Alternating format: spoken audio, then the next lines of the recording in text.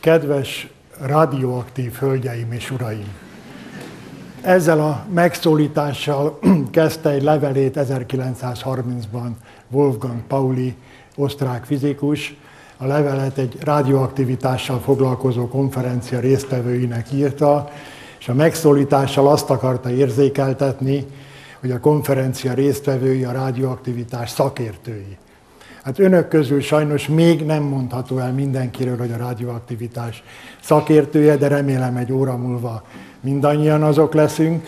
Van viszont egy másik jogcím, amiért én használhattam önökkel kapcsolatban is ezt a kedves radioaktív hölgyeim és uraim megszólítást, mégpedig az a jogcím, hogy mindannyian radioaktívak vagyunk, mindannyian sugárzunk, a következő egy órába körülbelül 16 millió atom fog sugárzással elbomlani a szervezetünkben, de emiatt ne aggódjanak, az előző egy órába is ennyi bomlott el, meg, meg tavaly, meg tavaly előtt, észre se vesszük, ilyen a természetünk.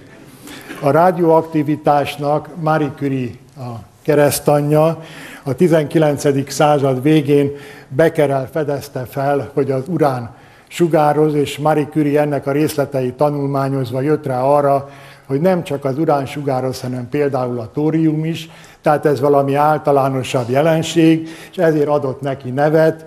A rádióaktivitás az a sugár és tevékenység görög szavak összetételéből származik tulajdonképpen.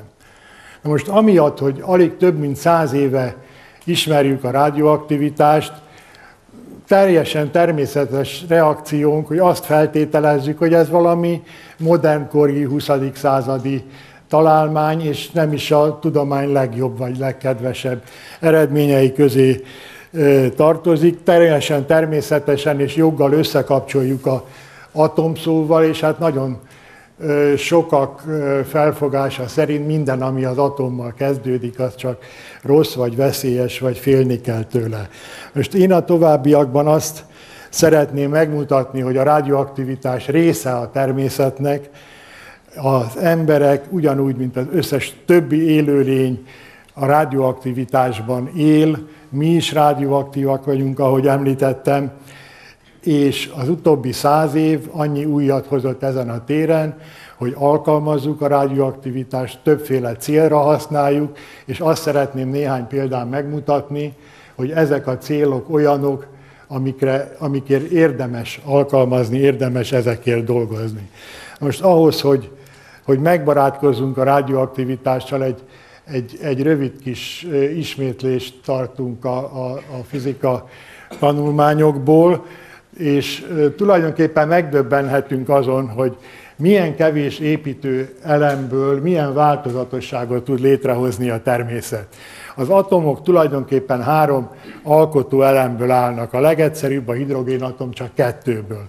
A magjában van egy proton, ez a piros, és körülötte kering egy elektron, aminek negatív a töltése. A következő a hélium, annak két proton van a magjába, és két neutron, a szénben már hat proton van, és 92 ilyen elem van a természetben, és az a félelmetes változatosság, amit ha egymásra nézünk, mi hogy különbözünk egymástól, pedig ugyanazokból az atomokból vagyunk, de ugyanazokból az atomokból van ez a pad, az egész terem, az egész világegyetem. Tehát azon múlik a kémiai elemek miensége, azok különbözteti meg a kémiai elemeket, hogy hány proton van a magjukban. Itt néhány példát fölírtam, és tessék észrevenni, hogy ezzel az egyszerű fölismeréssel, hogy a protonszám határozza meg a kémiai tulajdonságot, a kezünkben van az aranycsinálás titka, amiért évszázadokon át hiába küzdöttek az alkimisták, hiszen nem kell más tenni, mint egy protont hozzáadni az előző elemhez, vagy egyet elvenni a következőből.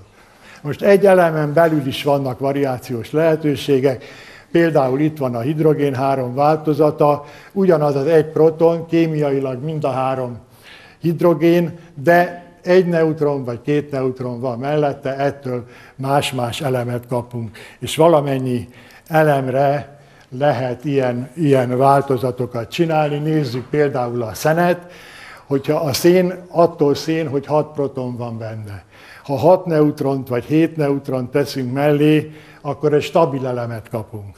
de ha ennél kevesebbet vagy többet, például 5 vagy 8 9 akkor ez az atommag már nem stabil, nem marad meg úgy, ahogy létrehoztuk, hanem bizonyos idő faktorral elbomlik, átalakul, és mindaddig átalakul, mindaddig bomlik, mindaddig sugároz, amíg nem tud stabilá alakulni.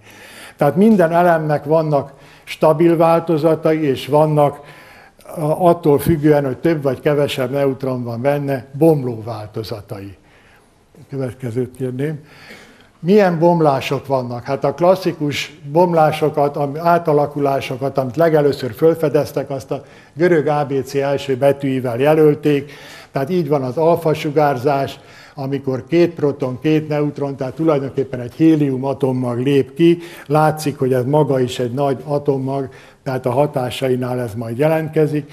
Van a béta sugárzás, ami egy elektron, az elektronról tudni kell, hogy az 2000-szer könnyebb, mint a proton, tehát ez egy egészen más típusú átalakulás, és van a harmadik, a gamma sugárzás, ami egy elektromágneses hullám, általában nem önállóan jelentkezik, hanem a a béta sugárzással együtt. Tehát ez a három legfontosabb sugárzás, és itt ezen a nagyon egyszerű rajzon látszik, hogy a nagy, nehéz, duplán töltött alfa részecske már egy vékony papírlapon sem tud áthaladni, a béta simán átmegy a papíron, de elakad a fába, a gamma sugárzás pedig a betonban is hosszabb utat képes megtenni, és ugyanígy különböznek a, a hatótávolságok akkor is, hogyha a bőrünket, az emberi testet nézzük, hogyha azonos energiájú részecskéket választunk, az alfa sugárzás nem tud a, a bőrünkön áthatolni. Ez azért lesz érdekes, amikor a veszélyekről beszélünk, tehát az alfa nem megy át a bőrön, a béta valameddig behatol, a gamma pedig képes arra, hogy teljesen át is menjen rajtunk. A még egy nagyon lényeges tulajdonságát kell megtanulnunk a, a radioaktív atomoknak, és pedig ez a, a felezési idejük. Ez mindig jellemző a bomló anyagra, és tulajdonképpen ez, annyit, ez azt az időtartamot jelenti, amíg a kezdeti anyagmennyiség fele elbomlik. Tehát itt volt ezer atomunk, ilyen hosszú az egyfelezési idő, eltelt, utána már csak 500 van. A következő ugyanilyen hosszú periódus alatt az itt meglevő fele bomlik el, tehát lesz 250, 125 és így tovább. Tehát a felezési idő az az idő, ami alatt a fele elbomlik, és ez rendkívül változatos lehet. Itt van néhány nagyon hosszú, milliárd éves, mint az urán 238, vagy a később még többször szereplő kálium, vagy a, a veszélyes plutónium, de itt a nagyon rövid technécium, és vannak olyanok, amik a másodperc tört része alatt bomlanak el, és, és alakulnak át, úgyhogy a természet ilyen szempontból rendkívül változatos. A sugárzásokkal kapcsolatos félelmeket vagy miszticizmust fokozza az, hogy, hogy nem tudjuk érzékelni őket. Nem látjuk, nem halljuk, nincs szaga, nem csíp, lehet, hogy most kihagytam néhány érzékszervet, szóval semmilyen érzékszervünkkel nem tudjuk érzékelni, de szerencsére műszerekkel ki tudjuk mutatni a jelenlétüket, hiszen a különböző sugárzások kölcsönhatásba lépnek az anyaggal, és ezt a kölcsönhatást tudjuk vizsgálni. Általában arra építünk, hogy az anyagba behatoló sugárzás az ionizálja az ott levő anyagokat. Ha visszagondolnak a legelső ábrára, hogy van az atom mag, meg van körülötte elektron, az ionizálás annyit jelent, hogy leszakít egy elektront, és ettől az atom nem semleges, hanem töltött. Ha töltött, akkor a mozgását már nyomon tudjuk követni. Ezen alapulnak a különböző műszerek. Most meg is mutatnám, hogy ez e, hogyan működik, csak ehhez egy segítséget kérnék, nem lesz semmi nehéz feladat, de egy önként jelentkezőt kér. Piros trikós fiatalán, pulóveres fiatalembert kérem, hogy jöjjön ide. Itt van két nagyjából egyforma súlyú anyagdarab, ez szén, ez urán. Tehát egyforma súlyúak. Mit gondol, hogy melyik sugároz intenzívebben, melyikből fogunk több sugárzást mérni? Szerintem a szén. Tehát valószínűleg. Hát próbáljuk ki. Ez a, a műszer kattogással jelzi, hogyha sugárzás észlelt. Amikor így fölfelé tartom és kattogást hallunk, ez az úgynevezett háttérsugárzás, ami a épület anyagából, világűrből, mindenhonnan jön. Tehát ez, ez mindig itt van velünk. Most ehhez képest ez a szén, és úgy megpróbálom ugyanilyen távolról mérni, ez az urán. Meglepő, hogy eltaláltam, mert azért mondom, hogy meglepő, mert hát természetesen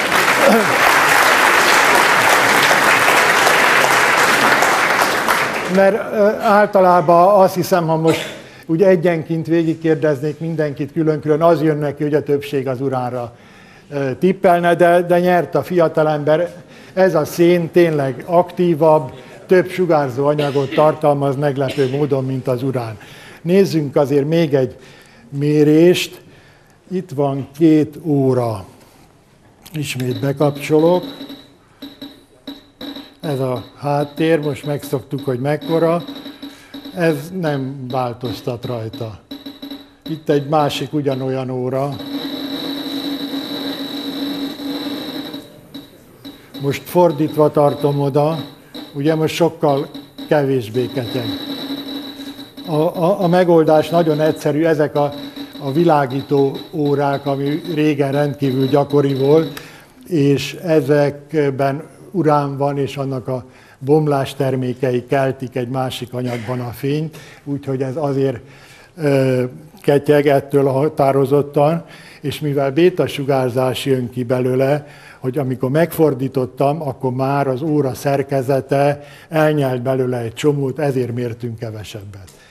Később megismerkedünk egy részletesebben egy, egy híres magyar mérőműszerrel, és ennek az előkészítésére én arra kérem, hogy vigyen magával egy ilyen tollat, ilyet a űrhajósok hordanak a űrállomáson, az ő ruhájukon van erre egy külön zseb is, hát ön tegye majd a padra maga elé, és arra kérem, hogy az előadás végén hozza vissza, és akkor, akkor mérni fogunk vele. Köszönöm szépen. Tehát eljutottunk odáig, hogy, hogy láttunk, vagy tapasztaltuk az elemek sugárzását, és ismerkedjünk meg röviden azzal, hogy hol keletkeznek ezek az elemek. A elemek egyik fele az a csillagokban keletkezik, például a napunkban, amelyik nagy részt hidrogénből áll. És a nap extrém viszonyai, az óriási hőmérséklet, nagyon nagy nyomás mellett a hidrogén atom atom magjai össze tudnak egymással olvadni, eközben energia szabadul föl, ebből származó fényre alapul az egész földi életünk, és a hidrogén atommagokból hélium atommag lesz, aztán ezek is összeolvadnak, és így tovább, és szépen a periódusos rendszer elemei egymás után fölépülnek egészen a vasig. A vasnál nehezebb elemek egy másik fajta a napnál nagyobb csillagokban, és hát szinte robbanásszerűen épülnek föl. Ezeknek a nagyobb csillagoknak a, a, a, az öregkora azzal zárul, hogy összeomlanak, és ekkora a, ekkor zajlanak le olyan magreakciók, lesznek a protonokból neutronok, és ekkor épülnek föl sorba a nehezebb elemek, és ennek a, a végállapota egy robbanás, és akkor ez az anyag szétszóródik. Tehát a csillagokban az összes izotóp keletkezik, a sugárzók is, a nem sugárzók is, mindent létrehoz a természet, és végül ebben a, a szupernova robbanásban szétszórja a világegyetemben. A, és egyszer valamikor négy és, durván négy és fél milliárd évvel ezelőtt ebből a csillagközi anyagból összeállt a naprendszer, összeállt a mi bolygónk a, a Föld, és benne voltak mindezek a, a, a sugárzó és nem sugárzó anyagok. Természetesen négy és fél milliárd éve nem így nézett ki a Föld. Amit most a, a mi szempontunkból lényeges, hogy a Föld belseje az olvat állapotban van, zömmel, vas és nikkel van benne, és azen van egy kéreg, és a kéregnek a, a, a tetején élünk mi. Ennek a belső magnak a, a, a magas hőfokát és az olvat állapotát annak köszönhetjük, hogy vannak a hosszú felezési izotópok, amiket az elején mutattam, az urán, a tórium, a kálium és hasonlók, amiknek milliárd években mérhető a felezési ideje. Tehát uránból például ma még mindig megvan a fele annak, ami a naprendszer keletkezésekor volt. Ezeknek a bomlása hozza létre ezt a, az olvat, forró belső magot, tehát ez a Föld felépítésének egy nagyon lényeges része, hogy a magja olvat, és ez a rádióaktivitás miatt van. Most az, hogy van ez a forró olvat mag, hát ezt néha észleljük a felszínen, mert például ami emiatt tör föl a vulkánok forró lávája, de hogy egy békésebb példát is mondjunk, emiatt élvezzük a meleg vizet a, a fürdőkben, és itt van egy magyar különlegesség, hogy a Föld mélye felé haladva, a számokat megnézem, hogy nem mondjak rosszat, átlagosan a világon 33 méterenként emelkedik egy fokot, egy Celsius fokot a hőmérséklet, a lefelé megyünk, Magyarország alatt 20 méterenként, és ennek, mert itt vékonyabb ez a, a, a, a olvat mag fölötti réteg, a Pannon medence alatt, és ennek köszönhetjük azt, hogy, hogy nekünk ilyen sok gyógyfürdőnk van. A Föld olvat belsejének még egy dolgot köszönhetünk, mégpedig azt, hogy a Föld maga egy óriási mágnes. Úgy viselkedik, mintha a belsejében egy, egy rúdmágnes lenne, tehát itt a Föld, és itt van benne a, a mágnes, és itt a, a mágneses tere, ezek a sárga vonalak, és ha nem lenne a nap, meg ami onnan jön, akkor ez egy szép szimmetrikus valami lenne. Tehát van egy mágneses tere a Földnek, és az ennek a, a belső olvat magnak köszönhető. Ezt egyébként 1600-ban az Erzsébet angol királynőnek az udvari orvosa fedezte föl, hogy a Föld egy mágnes.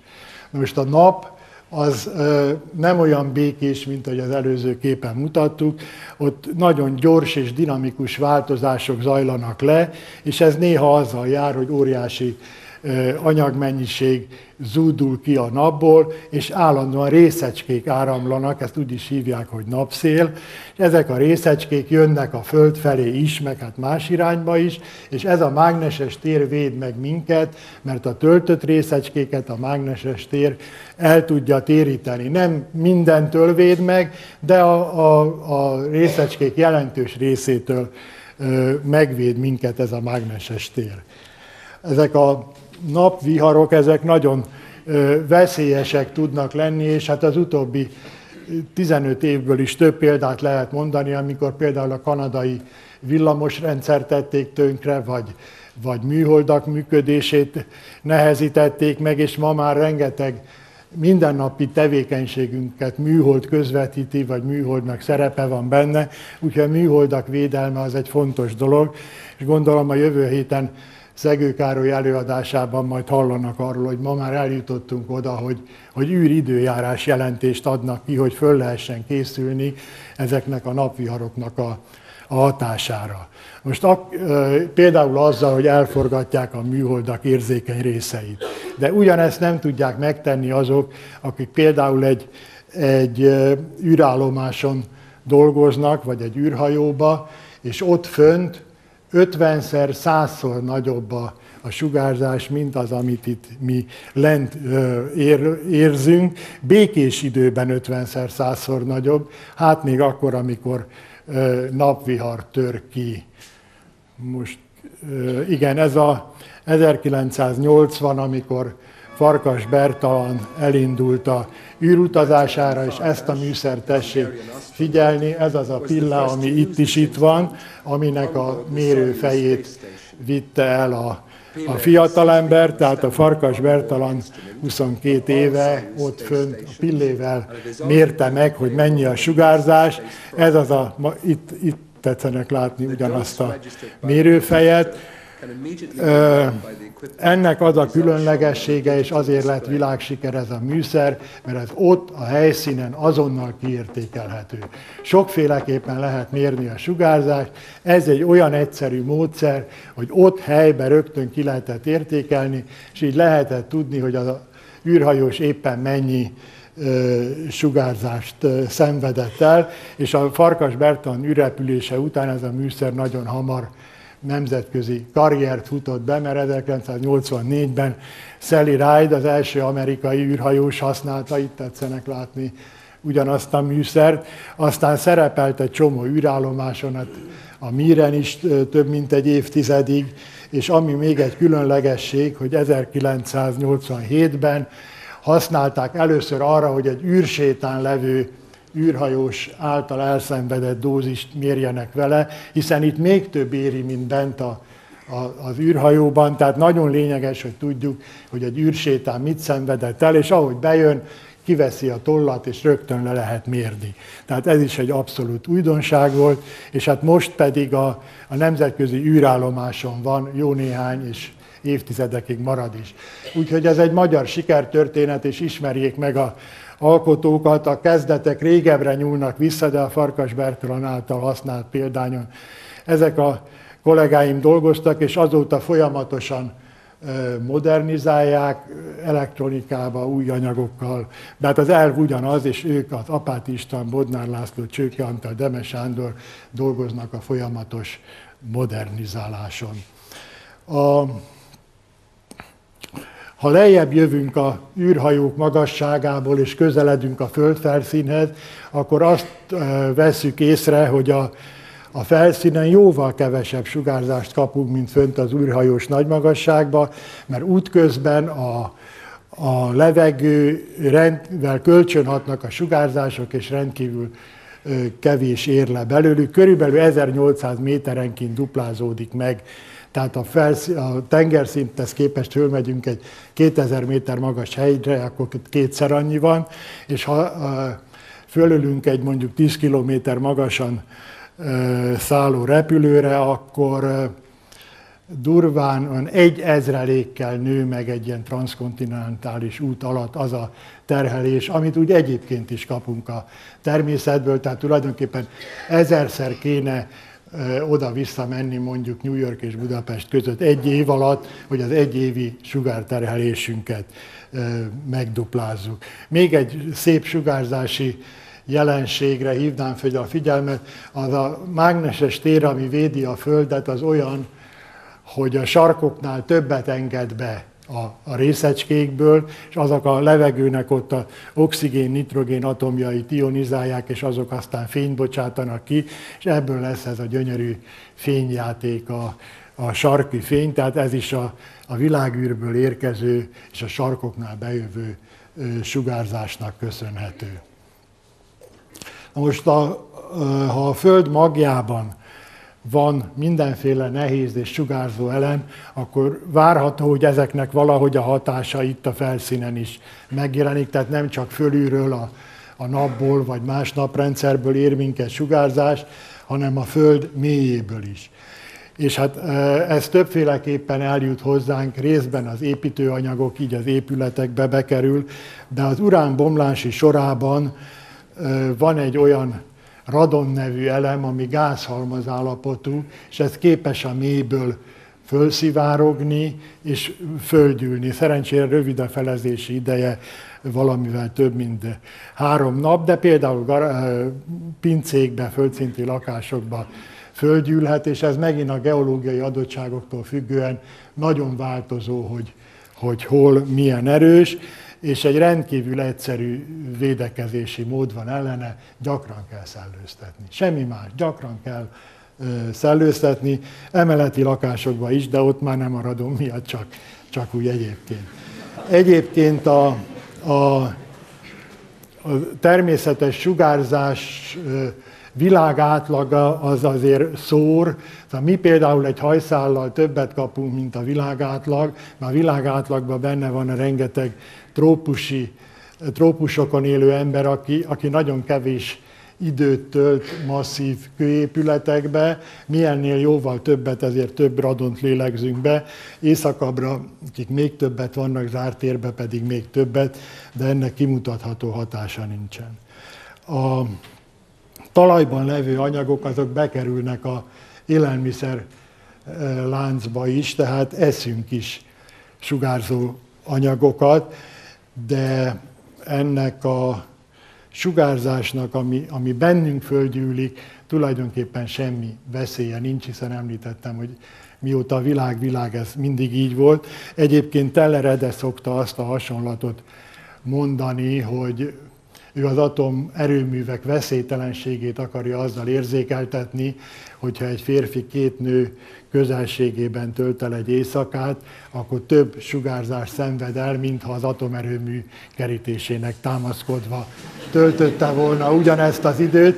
Persze a nemek közömbösek, tehát lényeg az, hogy egy ember, két másik ember társaságában. A, a bennü, az a sugárzás, ami bennünk összegyűlik, annak a döntő többsége kálium. A, káli, a természetes káliumnak alig egy ezreléke ez a sugárzó izotóp, de ez azért szépen kimutatható, és egy nagyon fontos elem a növények életében is, és a miénkben is, hiszen a szervezetünkben a ingerület továbbításban döntő szerepe van. Itt szeretném megmutatni, hogy ez a kálium, ez, ez tényleg sugároz, hogyha valakinek kálium hiánya van, akkor az orvos azt írja föl, hogy hogy kálium tablettákat fogyasszon. Most nézzük meg, hogy mit csinálnak ezek a, a tabletták. Tehát ez a háttérsugárzás.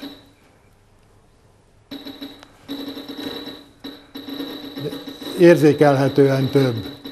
És hogy most, a, amit az elején ábrán mutattam, hogy a, a bétát elnyeli már egy fadarab, itt egy egyszerű konyhai eszköz, ezt most először enélkül, tehát sugároz a kálium, és most leárnyékolom egy deszkával, és lényegesen kevesebb. Tehát a, a bensőkben ez a, ez a kálium az, ami, ami sugároz. Tehát összefoglalhatjuk, hogy honnan kapunk uh, sugár terhelést a kozmikus sugárzásból, a káliumból, ami a talajból sugároz és a szervezetünkbe kerül, az urán bomlási sorában megjelenő radonból és más bomlásokból, ez összesen körülbelül 2,4 milliszívert, ez egy egység, amiben ezt mérik. Tehát ez a 2,4 az a, a természetes háttérsugárzás, ami, amiben élünk, és ö, ezzel nem tudunk változtatni. Na most ehhez más terhelések járulnak hozzá, például olyanok, hogy a 50-es, 60-as években rengeteg atomfegyver kísérletet végeztek a nagyhatalmak, emiatt sok sugárzó anyag került a levegőbe, ezek egy része ma is velünk van és elszenvedjük, és egy másik közelmúltbeli esemény, amire sokan emlékezhetnek, a Csernobili reaktorkatasztrófa, ahol szintén sok sugárzóanyag került a levegőbe. Egyébként egy huszada annak, amit az atomfegyver kísérletek vittek a légkörbe. Ami a megnyugtató, és erről az a előadás internetes változatánban részletesen olvashatnak, hogy a Csernobili katasztrófa bármilyen nagy volt, és az atomipar máig legnagyobb és reméljük soha nem ismétlődő balesete, a hatásai Magyarországon egyáltalán nem voltak komolyak.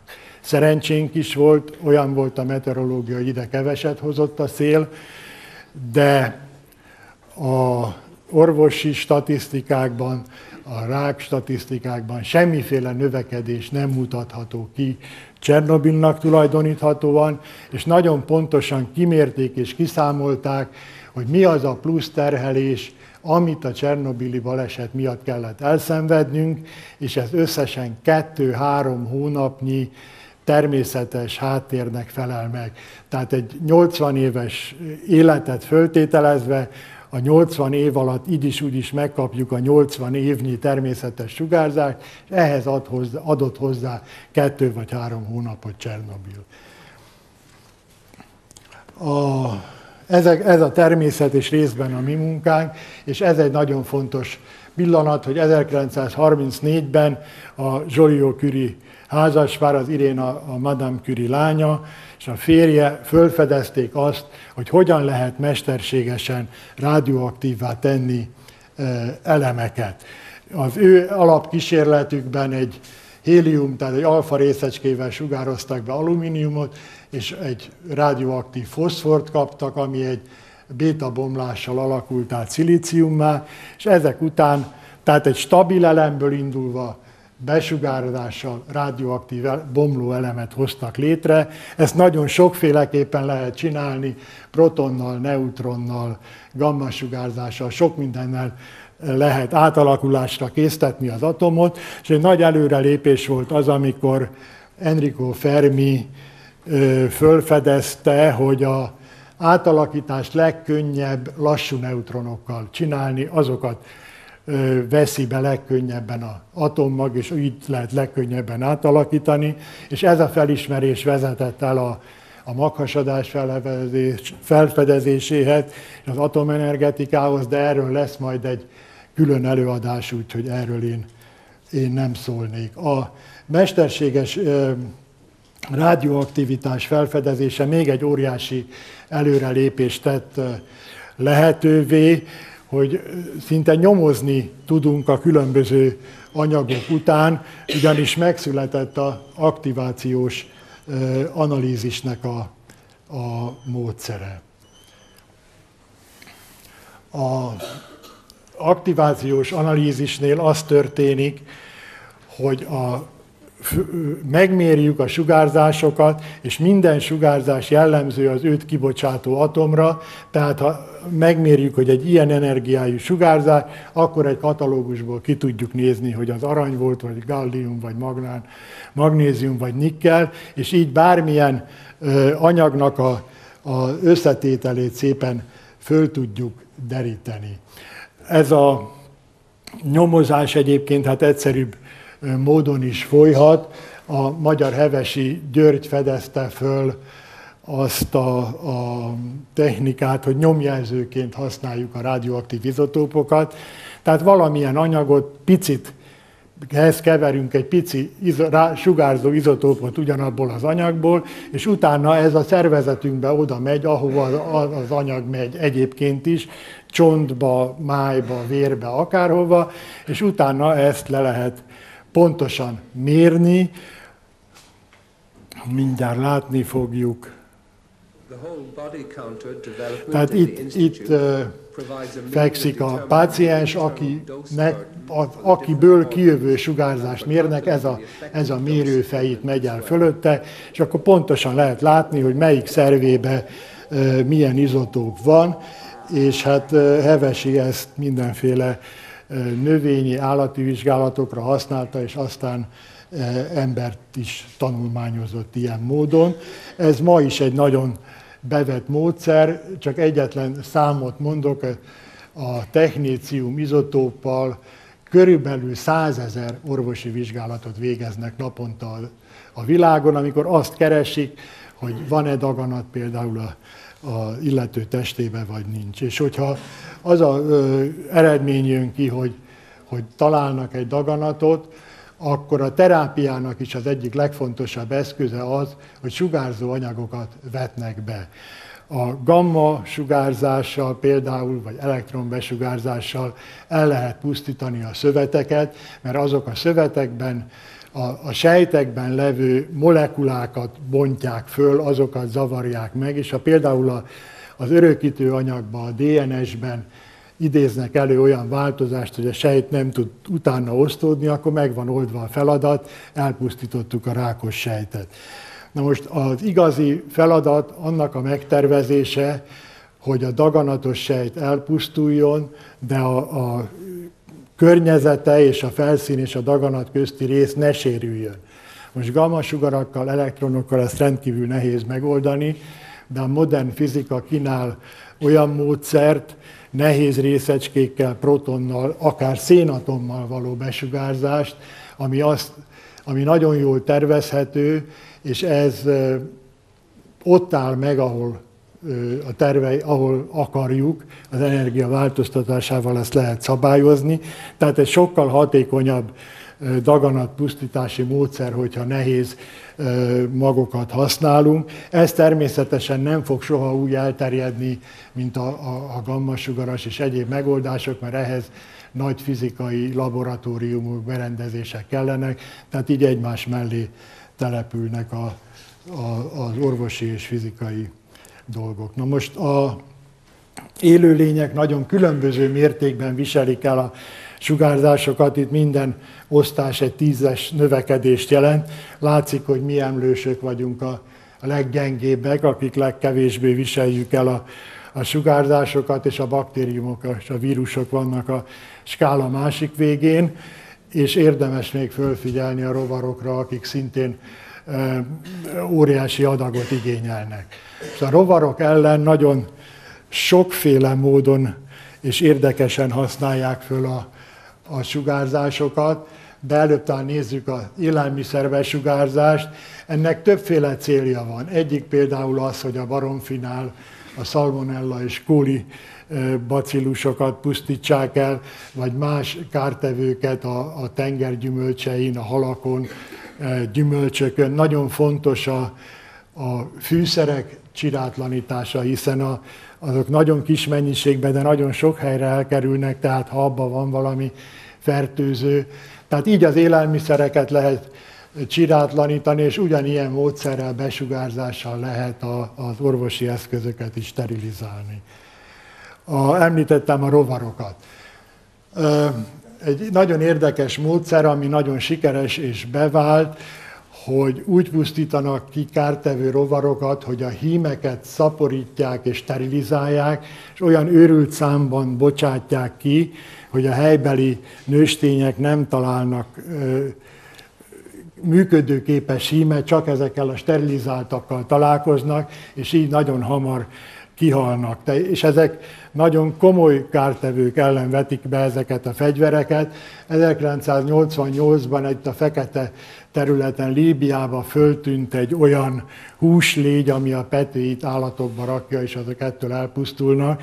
És a terület, jól mutatja ez a rajz, hogy ha nem avatkoznak be, akkor rövid idő alatt a sötét színű, és néhány év alatt a világosabb területen elterjedt volna ez a húslégy, és a szarvasmara állományban óriási károk lettek volna, és nagy nemzetközi összefogással egy év alatt sikerült a itt megjelent kártevőt kipusztítani úgy, hogy hetente 40 millió legyet, sterilizált húslegyet engedtek szabadon.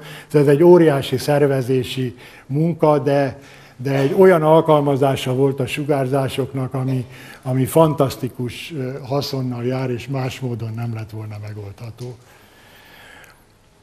A következőkben most már egymással össze nem függő és nagyon nagyon röviden fölvillantott mozaikokat mutatok csak.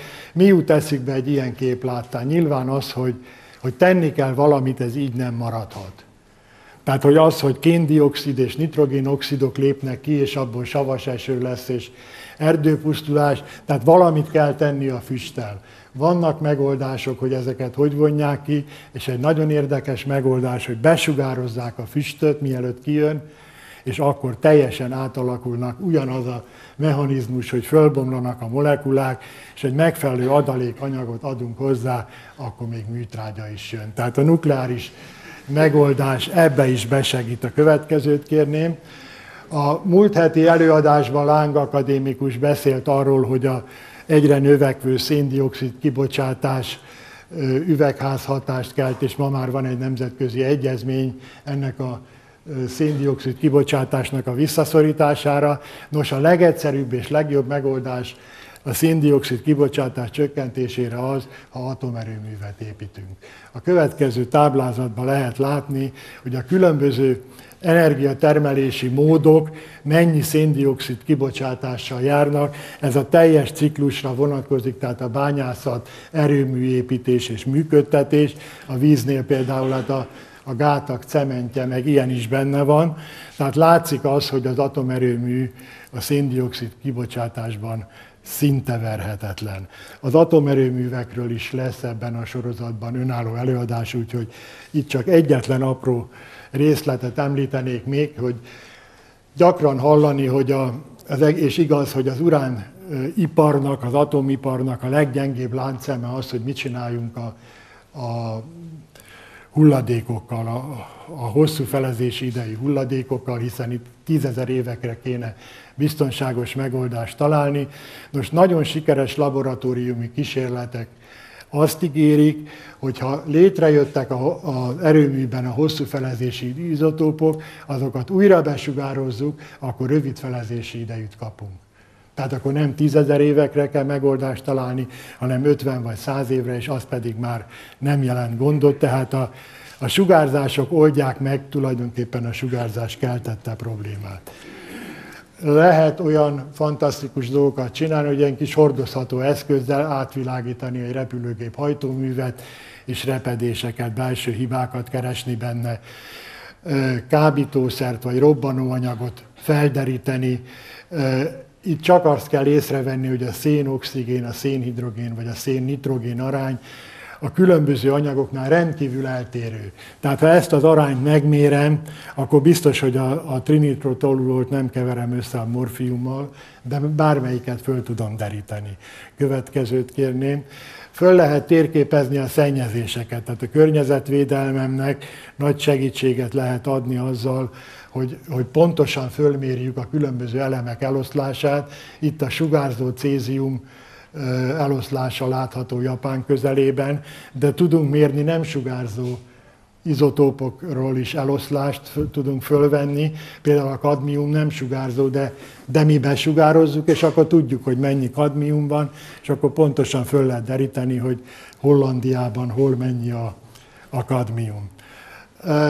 Sajnálom, hogy nincs időm erről hosszan beszélni, ez egy nagyon érdekes krimi. Bármilyen hihetetlen, ez a kép hamis. A hamisító zseniálisan eltalálta és eltanulta Vermeernek a, a stílusjegyeit, és a háború után börtönbe került az illető, mert a képet Göringnek a gyűjteményébe találták meg, és a nácikkal való együttműködésért állították bíróság elé, mire ő azt mondta, hogy semmi gond, mert jól átvertem őket, én festettem a képet, és hónapokig tartó viták voltak, a szakértők nem hitték el, végül a börtönben is festett egy Vermeer képet, és évtized... De erről a képről évtizedekkel később hitték csak el, hogy tényleg hamisítvány, amikor az ólom különböző sugárzó ólomizotopok arányát pontosan lemérték, hogy ez e, hogyan történt, ezt is az internetes változatban olvashatják. Tehát általában műkincs hamisítás leleplezésére és valaminek a belsejében levő rejtett dolognak a, a, a felderítésére is remekül alkalmazhatók ezek a módszerek. És a, a régészekről még talán érdemes megemlíteni, hogy van az úgynevezett szén-14 módszer, a levegőben állandóan a világűrből érkező sugárzás hatására állandóan keletkezik sugárzó izotópia a szénnek, és ez bekerül a szervezetünkbe. És mindaddig a növény, állat, ember él, ez folyamatosan bomlik bennünk, bekerül, ahogy vége az életnek, nem kerül be több, mert nem lélegzünk, és elkezd bomlani a a sugárzó izotóp, és ennek a mennyiségéből pontosan vissza lehet számolni, hogy milyen idős. Egy egészen más alkalmazás, ahol, ahol nincs más lehetőségünk, mint, mint sugárzó anyagok felhasználása, az űrkutatásban bizonyos űreszközöknek az energiaellátása. Hogyha a távoli nagybolygókhoz akarunk eszközöket küldeni, mint például a Cassini űrszondát, amiről majd jövő héten fognak hallani Szegő Károly előadásában, akkor nem tudunk mást kép energiát biztosítani, csak rádióaktív izotópokkal, mert a távoli nagybolygóknál már olyan gyenge a napsugárzás, hogy napelemekkel nem tudunk eleget. Két megoldás van, az egyik vagy egy sugárzó izotóp szép lassú bomlásából nyerünk hőenergiát, és abból csinálunk villamosenergiát, vagy bármilyen hihetetlen atomreaktort teszünk föl a műholdra, és az szolgáltatja az energiát. Egyébként a űrkutatás rendkívül takarékos olyan értelemben, hogy például ezen az óriás szerkezeten azt hiszem ilyen 6-700 watt teljesítménnyel lehet az egész műszer együttest működtetni. A Holdon a Apollo eszközök ilyen 20-30 wattot fogyasztottak, most tessék összehasonlítani az, hogy egyetlen villanykörteink általában 60 wattot fogyaszt. Tehát ezeken a, a távoli vidékeken egyszerűen nincs más megoldás, és hogyha az űrkutatásnál tartunk, akkor, akkor most jött el az a pillanat, hogy, hogy mérjünk az űrkutatás eszközével, és megkérem a segítségemet, hogy jöjjön, jöjjön ki. Én ezt közbe bekapcsolom, kiírta, hogy várjak, mert hogy melegszik a készülék. Köszönöm. Kiírta, hogy kész, behelyezem a eszközt. Most kiírta, hogy mér, és most amíg a mérés zajlik, addig ennek a, a mérőfejnek a azonosítóját írta ki, és ha emlékeznek a korábbi képekre, a Szelliráira vagy a Farkas Bertalanra, akkor a szerkezet nagyjából ugyanúgy nézett ki, hogy egy ekkora doboz és ugyanilyen kulcs. A belseje természetesen sokat változott, ahogy az elektronika lehetővé tette. Tehát azt mutatja, hogy 5,38 század egységnyi milligray sugárzást mértünk itt a a környezetbe, ez megfelel a normál háttérsugárzásnak, és azt tessék megfigyelni, hogy, hogy mennyire egyszerű az egész, hogy, hogy csak belehelyeztem, elfordítottam. Tehát gondolnak arra, hogy a űrhajósoknak rengeteg, köszönöm szépen, rengeteg dolga van, tehát minél egyszerűbb megoldást kerestek. Tehát megismertük azt, hogy, hogy van egy háttérsugárzás, és arról annyit érdemes még tudni, hogy nagyon nem egyenletes a eloszlása a Földön. Nem csak azért, amit már mondtam, hogy, hogy mennyit vagyunk a házba, és ettől függően mennyi radont lélegzünk be. Egyszerűen a terület geológiájától, az ottani ásványkincstől függően nagyon különböző értékek adódnak, az átlagosnak az ötszöröse, ötvenszerese is előfordul, például Brazíliában vagy Indiában, és az ott élők pont ugyanannyira egészségesek vagy betegek, mint mi, tehát semmiféle különbséget nem lehet kimutatni, ami azt igazolja, hogy a természetes háttérsugárzás akár többszörösét is el lehet viselni. De természetesen tartunk minden plusztól, amit a, a, az emberi tevékenység ad hozzá ehhez a háttérhez. Nagyon keveset tudunk arról, hogy a kicsi dózisoknak, a kis adagokban elszenvedett sugárzásoknak mi a, a hatása. Van egy modern, eh, néhány éves elképzelés, ami szerint kifejezetten jótékony hatásuk van mert az immunrendszerünket fölébresztik, stimulálják, tehát a kis dózisnak lehet, hogy kifejezetten jótékony hatása is van. Na most nézzük azt, hogy amit kaptunk, az, az honnan van, és mi, ami ebből a, az emberi tevékenység része. Tehát ez jön a földkérekből, a piros, ez zömmel a, a radon, ez az, ami a, a, a talajból, ez a kozmikus belső, amit belélegzünk, például szén 14-et, ez a kozmikus külső, ami ér minket, és itt ez a, ehhez képest, tehát ez mind természetes, ez mind tőlünk függetlenül és általunk befolyásolhatatlanul létezik. Itt van az a plusz, amit az emberi tevékenység ad hozzá. Ez az, amit jó lett volna elkerülni, de összességében kicsi a hatása, ez az, amit önként vállalunk az egészségünk érdekében, és azt kell mondani, ismerve azt, hogy a természetesnek a sokszorosa sem árt, hogy ezt érdemes tudatosan vállalni, és ilyen nagyon pici a nukleáris iparnak a szinte kimutathatatlanul kicsi, hát század százalék a nukleáris ipar járuléka, és talán az előbbi néhány példából is látták, hogy azért rengeteg érdekes és hasznos alkalmazása van, sőt azt kell mondjam, hogy, hogy jótékony hatása, tehát érdemes ezt, ezt a pici is vállalni az orvosi mellett, tehát legyen a nukleáris ipar része az életünknek. És hasonlítsuk össze a nukleáris kockázatokat egyéb kockázatokkal. Amerikai kutatók csinálták ezt a nagy statisztikai minta alapján az elemzést. A lista valami 50 tétel van, én az elejéből, végéből válogattam, a nőtlenség 3500 nappal, tehát az majdnem 10 évvel rövidíti meg a életet, a dohányzás, a hajadonnak lenni az kevésbé veszélyes. A, tessék észrevenni, hogy a súlyfelesleg mennyit rövidít, ehhez képest a rák mennyivel kevesebb. Itt különböző balesetek vannak, ez a természetes sugárzások hatása. Az nincs itt, azt hiszem, hat nap a rendszeres kávéfogyasztás. Most a 80 év mellé tessék elképzelni ezeket, hogy, hogy ennyivel rövidebb, és a legvégén van a listának a reaktor balesetek, itt két szám szerepel, az egyik egy amerikai atomenergia ellenes mozgalomnak a számítása, miszerint kettő nap, de egy, egy atomenergiához jobban értő szakértő csoport számítása szerint csak néhány óra, de legyen két nap akkor is, tehát az a, a, a 80 mellett igazán nem számottevő.